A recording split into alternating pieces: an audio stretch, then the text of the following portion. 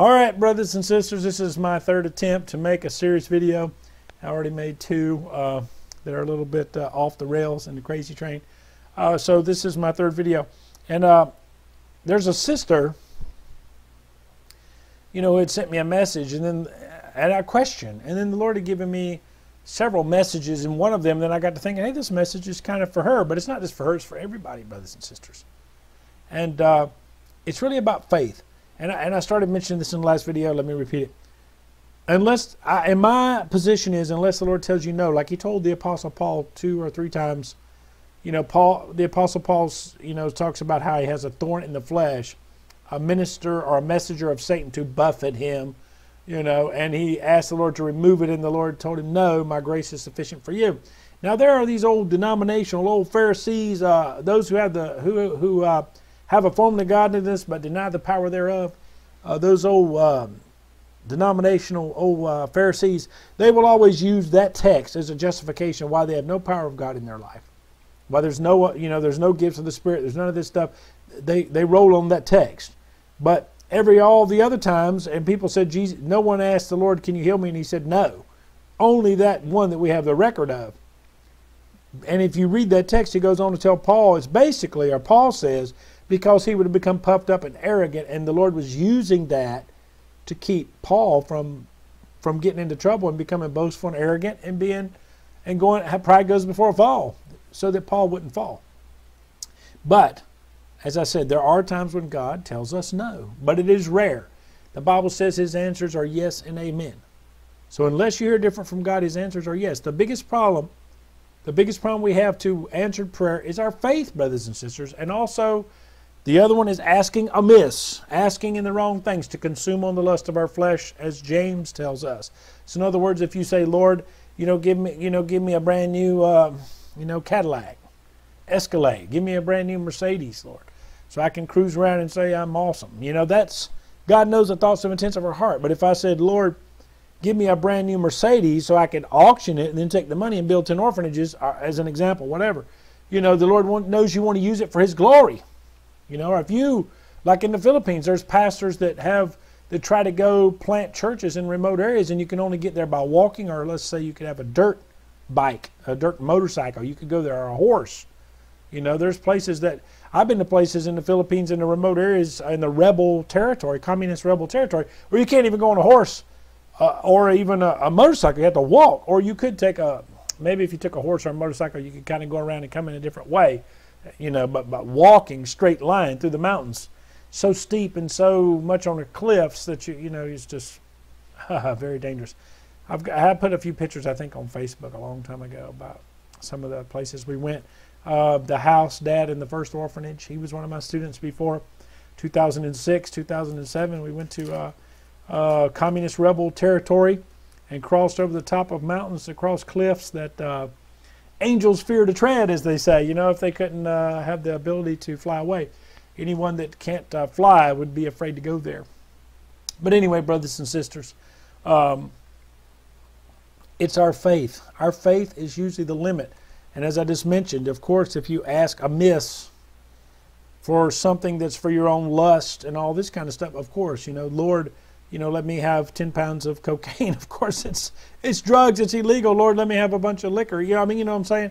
These, of course, it's common sense. But when we ask something like physical healing, if we ask the Lord, um, you know, for financial blessing because we don't even have enough money to eat, or we or we want to build orphanages like what I do through Joshua's ministry. We want to build orphanages in the Philippines. You know, I want to give Bibles and shoes and dress shirts and shoes to pastors and guitars to churches and things. Of course, you know, I need money for a plane ticket to go to the Philippines to serve the Lord. So these are the kind of things, you know, we ask the Lord for the things that we need, even financially. You know, we, we want to send our kid to school. You know, we ask the Lord to make a way. So, you know, there are people that live in bad neighborhoods, like in Chicago, New York, or e- anywhere, and their kids in a public school, and they say, Lord, make a way that I can put my child in a private Christian school because, you know, I can't homeschool them because I got to work or whatever and Lord, make a way that I can put my child in home a Christian school, so that my child's going to be a Christian. And you know, it takes a lot of money. A private Christian school you know, can be very expensive, something like that. Whatever. I'm just using examples out there. God will provide for His own brothers and sisters. Don't believe all this pity party stuff. God blesses His children so that we can be a blessing. God wants us to be blessed so that we can be a blessing. As He told Abraham, I bless you that you might be a blessing. God wants us to serve Him, bring glory to His name, be a blessing to others and to Him, and be salt and light. So it takes blessings to do that. You know, people need to be delivered from alcohol and drugs. People need to be physically healed the number one thing that people need to do is be filled with the Holy Spirit. Once you're saved and born again, saved, born again, same thing. Once you're born again, the greatest thing you need is to be filled with the Holy Spirit, to be baptized in the Holy Spirit, which with the power, power, power. Maybe I should make a video about that first. Let me make a video. Let me, you know, I'm, I'm trying to do this about faith, but but I but the greatest need, you know, the greater need I got to go here real quick. I got to go here because I, I got I got to deal with those people that come from religious traditions that are bound up in religious traditions. First Chronicles chapter two. Let's just look at this one real quick. I've mentioned this many times. I always read out of this one when I, I preached at Baptist churches and done revivals, like a whole week revival. I always do one night when I talk. I read this text.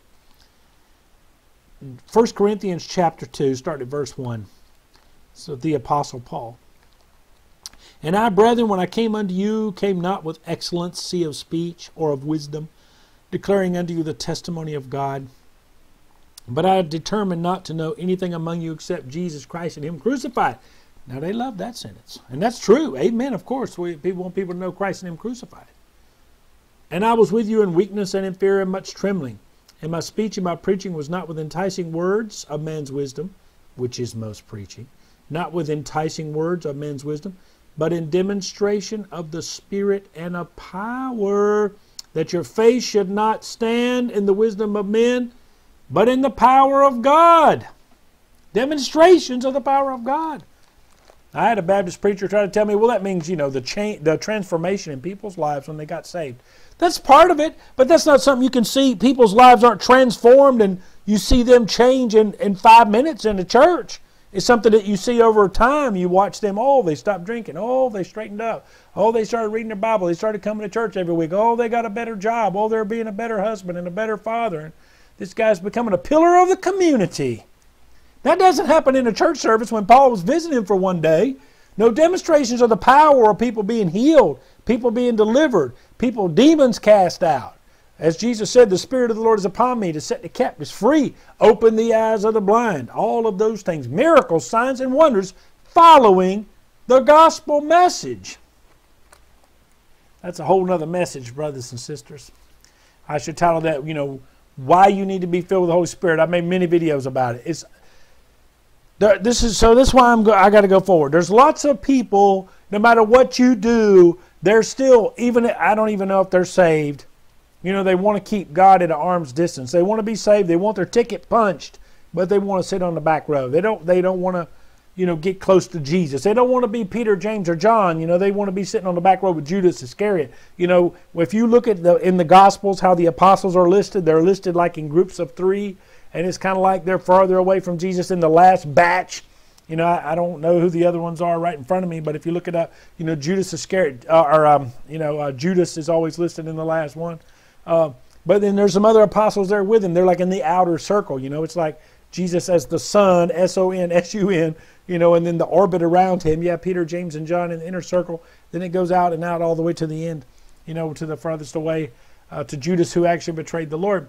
But those other apostles were satisfied with, you know, when Jesus went up on the Mount Configuration, Transfiguration only took three apostles with him. The others didn't go.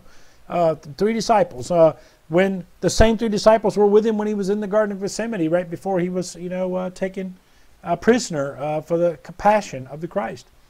So, uh, you know, people have different levels they want to walk with the Lord. But for me, I mean, I want to be right there with the Lord. And I think that people that would watch my videos, that's the purpose of my videos, is to get people to be in that inner circle to be as close to the Lord as possible. You know? And of course, you can never be close enough to the Lord. You know, we're never going to be totally sanctified and perfect while we're in this world.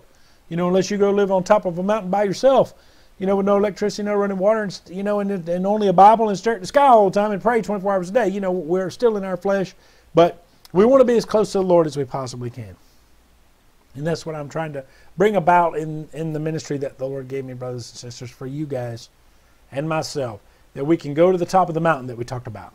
So, I'm just going to keep rolling with this one because I don't want to cut it off. So I will have to go back and start repeating to start the new video, you know. But anyway, so let's let me read some text here to you, brothers and sisters. Now this is about answered prayer. Let's just basically talk about answered prayer.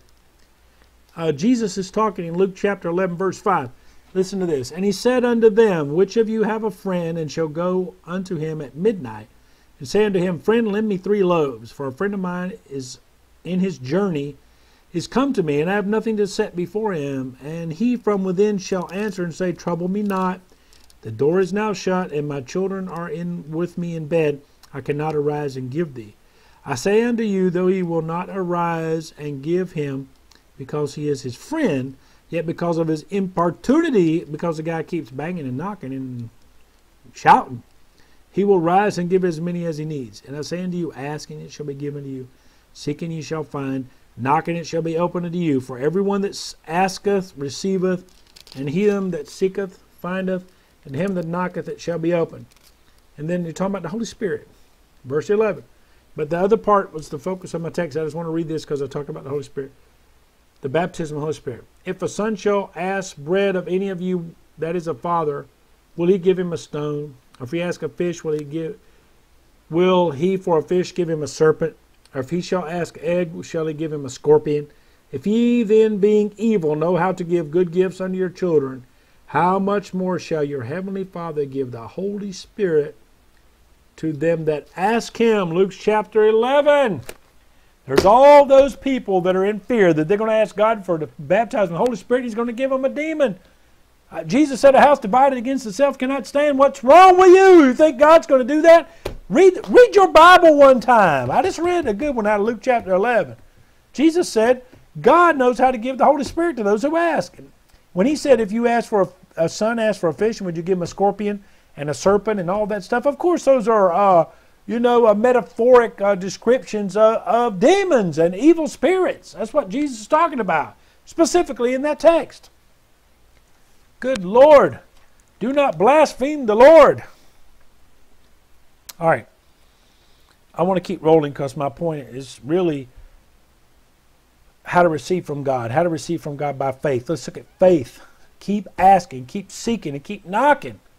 Not because you're a Christian, as Jesus said, it's not because it's your friend that's knocking at the door, not because you're a Christian, but because you keep on seeking, you keep on asking, and you keep on knocking. Let's drive the point home with here's the Lord doing a living example of that. Let's look at that. Uh, you know, you have your preconceived ideas and thinking, and you know, you don't, you know, bring your vain imaginations into captivity to the Word of God, as the Bible says. You know, bring every thought and vain imagination that you have into captivity to the Word of God. Don't make God in your own image and say, Well, I believe God does this, and I believe God does that, and I believe God does this. You know, I got a relative that does that all the time that that's a backslider at best. And, and then they'll start telling me, Well, I believe this about God, and I believe this about God, and I don't believe this about God. Who cares what anybody believes? It don't matter what anybody believes. It matters what the Bible says, not what anybody thinks or believes. Or you know, your opinion and a dollar is is you know you can get you can't even get a and two dollars. You can get you a cup of coffee at, at, at McDonald's. You know who who cares? Uh, anyway, let's keep going. Uh, Matthew chapter 15, verse 21. Here's a demonstration. What I've just read to you, the Lord demonstrating for us. Then Jesus went thence and departed unto the coast of Tyre and Sidon, which is going up there toward Lebanon. And behold, a woman of Canaan, she's, she's a Gentile, came out of the same coast and cried unto him, saying, Have mercy on me, O Lord. See, she called him Lord. Thou son of David. Now, as in the Bible, in the time of the Jesus walked the earth, Hosanna to the Son of David and all that, the title that they were using for the Messiah is the Son of David. So when she called him Son of David, she's saying, You are the Christ, you're the Messiah, you are the anointed one, you are the Son of God. Son of David, my daughter is grievously vexed with a devil. But he answered her not a word. And his disciples came and besought him, saying, Send her away, for she crieth after us. Jesus didn't say a word. He just kept on walking. kept on trucking down the road, walking, and just ignoring her. Because, of course, God knows the beginning from the end. The Lord knew what was going to happen. His disciples were saying, hey, send this crazy, you know, unclean Gentile woman away from us. You know, they were like a bunch of Christians. They were saying, send this unsaved person away. Send this person away. She's not your friend. She's not one of us. Send her away. But he answered her not a word, and his disciples came and besought him, saying, Send her away, for she cries after us. But he answered and said, I am not sent but unto the lost sheep of the house of Israel. So he told her, Look, I came for the Jews, and you're out of luck. Then came she and worshipped him, saying, Lord, please help me. See, she kept calling him Lord. She worshipped him. She knew who he was. She called him the son of David. Here's a Gentile woman. And she said, Lord, help me. Verse 26, Matthew 15. But he answered and said, It is not meat or it's not good to take the children's bread and cast it unto dogs. Jesus was calling Jews the children of God, and he called this Gentile woman a dog. He called her a dog. Of course, Canaan, Canaan, Canaan. I've made videos way back about that. Actually, the land of Canaan is after Canaan, the dog star. Sirius, which is the blazing star on the floor of Masonic temples. That's a whole other thing to get into, but really, the Egyptians did not worship the sun as the working class people thought they worshiped. The priests in the pyramids and the temples uh, of Egypt, they actually worshiped the dog star Sirius, and the people thought it was the sun. So actually, you know, that at a higher level, they were actually worshiping Sirius, like I said, which is the dog star, which the land of Canaan or Sidon is another name for the land of Canaan. Sidonia. There's also a section on Mars called Cydonia, which is where the pyramid and the Sphinx and all that is. They say that's on the surface of Mars. Is is that area of the Mars is called by NASA Cydonia. So we just mentioned this woman is from the coast of Sidon. That's Sidonia, aka in a different age. The Phoenicians, the Syro Phoenicians, is also the land of Canaan in the time of Abraham and all that. Canaanite, Canaan referring to canine dog. I just had to throw that in there because you know it's pretty it's pretty cool, and and and a whole different level to talk about here uh, uh, of the deep things of the end times. Anyway, he answered and said, Jesus answered, verse 26, It is not meat or it's not good to take the children's bread and to cast it to dogs. And she said, Truth, Lord, yet the dogs eat of the crumbs which fall from their master's table. Now listen to what Jesus said. This is the point. Then Jesus answered and said unto her, O woman, great is thy faith. Be it unto thee even as thou wilt, as you want. And her daughter was made whole at that very hour. Jesus said, Great is your faith. Let it be what your let your will be done. That's what Jesus said. Let your will be done, even as you believed it would be. Because great was her faith. That's what I'm trying to tell you. So this sister, you know, who messaged me, and she's in Germany, and she, you know, and and and I, I made a video, but I stopped it, so I think I didn't say this. You know, we've been making that anointing oil, as the Lord told me to. And the Bible says in James chapter five, "Is there any sick among you? Let him call for the elders of the church, anointing them with oil in the name of the Lord, and the prayer of faith shall heal the sick." So right here, I've got the anointing oil We've prayed over it right here on some of my videos, and then Brother Sid came here too. We prayed over it. Some of you are elders. Preachers are elders. Some elders are preachers, and some elders are elders who, who handle the church business, deacons and all that. They're all, you know, you're all talking to elders of the church. Uh, not always preachers, but that is a type of elder is people who are pastors, preachers, teachers, evangelists, and deacons, etc. So anyway, we have prayed over that oil, then we sent it to people, and then it's a point of contact. Just like with uh, uh, P, uh, Paul, when he was working, he couldn't go visit people, and he had aprons. He prayed over the apron and sent it to them, you know, a handkerchief, and they touched the people and they were healed. Peter's shadow healed people, but it was the point of contact of faith. The prayer of faith shall heal the sick. So, you know, the Lord has made a way. I've sent out over 200 vials of oil and I've got at least 20 to 30, at least, I don't even, haven't even kept count, at least 20 or 30 praise reports of people being healed. But it's a prayer of faith. You know, we prayed in faith. The people that got the oil, they put them on it. It was in faith and they received it. But what I'm trying to tell you in this video from the Lord, which is just, we already know these things. I already know these things, and lots of you know it. You know, there is our healing and all that comes from levels of faith. I, I, I made videos about this before. There is the gifts of healing There are people who have a gift of healing. Okay, and they lay hands on people, and people's faith are way low. Jesus prayed for people; their faith was just a minimum. The Apostle Paul and all that they prayed for people, and their faith was just way down there near the bottom, but they were still healed because the power they had. Those, you know, Jesus had all the gifts, of course. But uh, and I just want to refer to one more text that I said that. I'm not looking at it in front of me. I believe it's in Mark. Go, you can go Google it or on the Google or look it up in, in eSword uh, which is a great thing to download. It says, uh, do a search, and it says that uh, Jesus, when he went to Nazareth, it says he could do few miracles there. He could do, King James wording, he could do few miracles there, be, uh, except heal a few sick folks. And he marveled at their unbelief. That was when he went back to Nazareth. Of course, as Jesus said, a prophet is without honor in his own hometown among his own people. Of course, he's without honor there. Just like me, when I go back to my family, you know, they, they don't honor me at all. As a matter of fact, well, there's none of them that are really believers, just one or two, and then they don't honor me. Of course, they, as a matter of fact, they treat me as the black sheep of the family because I'm a Christian, you know, and I, am serving the Lord. You know, who knows what it is? Is are they convicted because they're not saved, or you know, I don't know what all. I don't know. Don't care. They, they need to get saved. You know, that's a whole other story. All of our relatives need to get saved. It doesn't matter uh, uh, what what they think. They need to get saved. Anyway, so it's faith, brothers and sisters. All things from God. The Bible says in Hebrews chapter eleven, uh, verse six and seven. You know, it says, "Without faith, it's impossible to please God." And He is a rewarder of those who diligently seek Him. That's what we're saying. Diligently seek, ask, and knock. Keep on seeking. Keep on asking. Keep on, keep on knocking. So not just for that sister in Germany. It's you know and, and that's what I'm trying to say. There's people whose point of contact is, as I, have said this before, they believe if they receive the anointing oil and they use it, they'll be healed, and they are. Because that's their point of faith. There is power and agreement in the prayer we had. You know, hundreds of people pray for that oil, so it makes it easier to be healed. And there's nothing wrong with that. You know, I don't have the, you know, uh, faith moving mountains, all, you know, uh, mountain moving faith all the time.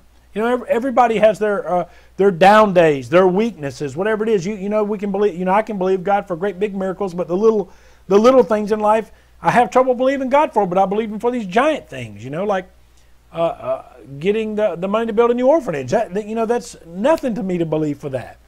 You know, but just to believe, oh, you know, the Lord will make a way for me to um, to get to somewhere on time. I'll be, you know, you know, no, I won't say I have trouble believing that. I'm just trying to use it as an example. But anyway, there are things that that I can't think off the top of my head that, you know, we have trouble believing for different things. And we all have that. That's why God has people with the gifts of healing, etc. You know, that we can see that's a point of contact, like the anointing oil is a point of contact for healing. But there is a faith, brothers and sisters, that we can all have that is such a kind that we can be like the woman right here. And just like the you know the neighbor that's asking to borrow the bread of the other text that I read from Luke chapter 11. That faith well, this woman, Jesus even says, Look, you know, you're a dog. I came to, you know, to be a blessing to the Jewish people, you know, and you are a Canaan, a Canaanite, a canine, a dog. So I didn't come to feed any dogs. But she still got down in front of him, bowed down, worshiped him, called him Lord, Son of David, Lord. You know, can I get a crumb to fall from the master's table? She said, Yeah, I'm a dog, but can I just get a crumb? You know, and Jesus knew she was going to say that's why Jesus was saying those things. He knew that's he knew what she was going to do. He was demonstrating for us in the Bible so that all people could read the faith of this woman, so that his disciples would be ashamed. The old typical old Pharisees. You know, they had that that uh, religious spirit. You know, and that's the whole thing about the church. I'm, you know, I'm so sick of dealing with religious people.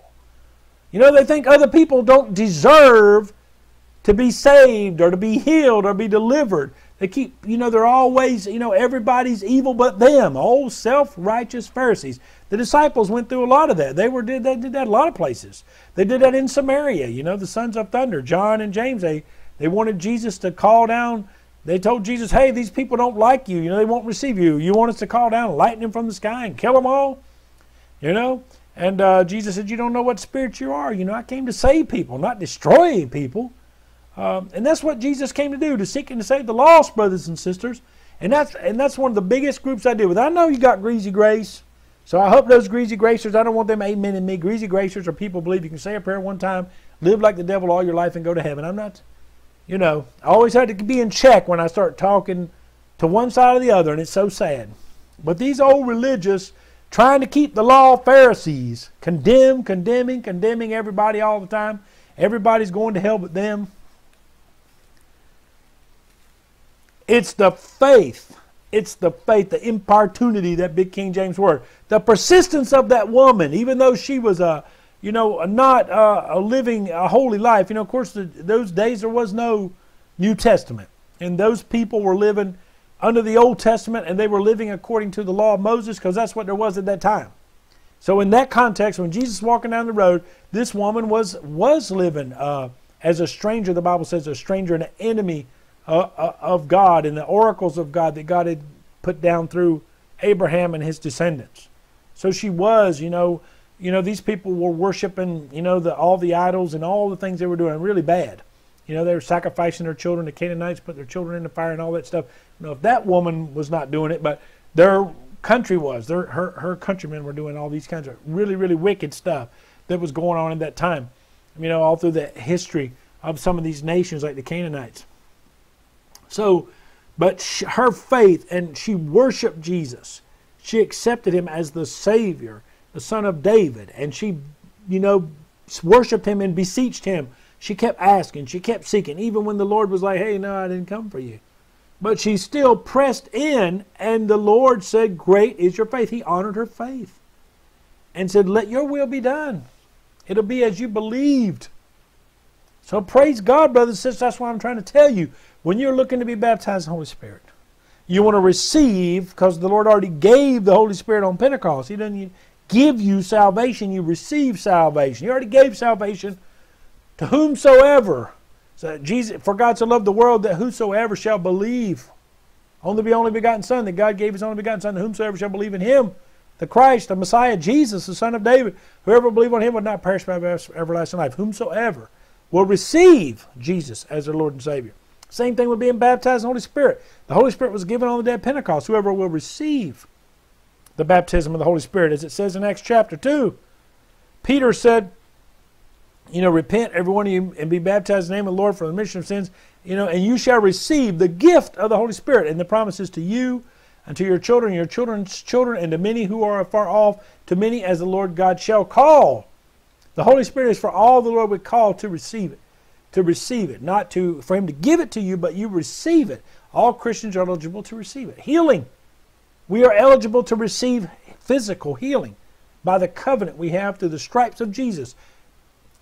2 Peter 2 24. It's quoting from Isaiah 53. It says, By his stripes we were healed. We are healed by the stripes of Jesus. Uh, Matthew 8 17, he went around healing all sicknesses and all diseases. Praise God Almighty. It's only a matter of faith, as I said. It's faith, faith, faith, faith. God is a rewarder of those who diligently seek Him. Without faith, it's impossible to please God. Hebrews 11 7. Brothers and sisters, I want to cut this uh, video off, and uh, by the grace of God, I've got, the Lord has given me more messages. So, this is my third video already. By the grace of God, I'll make some more. Uh, God bless you guys. I want you to believe like that sister in Germany. It's not you. You don't have to, uh, you know, have someone there laying hands on you. You can be healed. We can pray in agreement from a video. You can receive the oil and anoint yourself and pray in agreement. You can pray and believe on your own. If you, you know, but it's just those higher levels of faith that you're going to when you're going to pray by yourself. It takes higher faith. And if you're willing to seek, ask, and knock and press into that, you can do it. If you know, if you're this, hey, I want to get healed right now, then you go and you have people that have the gift of healing pray for you. It's a fa- you know, it's a faster way. It's just the way it is. Different levels of faith required for different things. Your point of contact. That's the truth, brothers sisters. That's how it works. That's how God's kingdom works, um, according to His Word, brothers and sisters.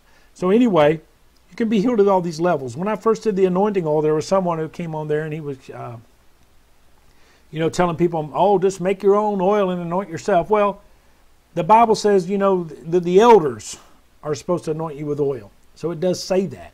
So if you're going to sit home and pray by yourself, you know, there's really no point of making your own oil, you know, you're praying for yourself and believing, which you can believe. It's like I said, it's a higher level of faith. Pray for yourself to be healed. Well, you know, there's no need to make an oil in prayer, but making your own oil and anointing yourself by yourself, because you know you're praying. You know, the point of the anointing oil is that you know the elders are praying for you. You know, that's the whole point, and that's that's the deal with the anointing oil. Like I said, there's all these different uh, Bible verses we can stand on by yourself. Someone with a gifts with a gift of healing praying for you are any of the elders praying for you using anointing oil. All these different Bible verses that we can use, and that's where our faith comes from. We stand in the promises of God in the Bible verses, just like the baptism of the Holy Spirit. I quoted all those verses. And then there, what I quoted, the first text I read, Luke chapter 11, where it says, you know, you being evil now to give your children good gifts, how much more does the Father who's perfect give the Holy Spirit to those who ask? That's a text that you can stand on to receive the baptism of the Holy Spirit. How much more does the Heavenly Father love? Don't you love to give your children gifts, Christmas and all that? Their birthdays, whatever? How much more does God want to give you the gift to give you the Holy Spirit when you ask? I mean, I mean, use the comparison. If your child says, "Oh, you know, Dad, can you, uh, or Mom, can you, you know, can I, can I get a bicycle?" You know, and, and, they keep asking you, they want a bicycle, they want a bicycle, they want a bicycle. Then finally, you know, because they keep asking, you give them a bicycle. Sometimes you give it to them the first time. Sometimes they ask you ten times. Say, okay, I'll get them a bicycle. You know, so God is perfect. How much more does He want to give you the Holy Spirit when you ask? Like I said, we receive we receive it, brothers. Just receive it. It's just like uh, being healed. It's just like getting saved. You receive it. It's right there. You just got to receive it. You know, I can offer you a gift and say, here, here, I bought you a gift, and you, and you don't take it. You just stand there without taking it out of my hands. You know, the gift is there. Salvation is always there. Jesus down the cross one time. The gift is there. Healing is the same thing. The gifts of healing is there by his stripes. He already took the stripes. It's already done. The Holy Spirit was given on Pentecost. It's already there. You just got to receive it. You got to receive it, brothers and sisters. Just as it says, and uh, as I keep rambling on here in scriptures, Acts chapter 19 when uh, the Apostle Paul went there, there were some disciples that had not received the Holy Spirit. And uh, Paul asked them, Have you received the Holy Spirit since you believed? And they said, We didn't even know there was a Holy Spirit. So he taught them about it, and then he prayed for them. He baptized them in water, and then he prayed for them, and they were baptized in the Holy Spirit. And it says they spoke in tongues and prophesied. Just like in Acts chapter 2 and those other times, uh, Acts chapter 11, 10 and 11, about Cornelius and all those. Anyway, brothers and sisters, I'm going to cut this video off. God bless you guys. God bless.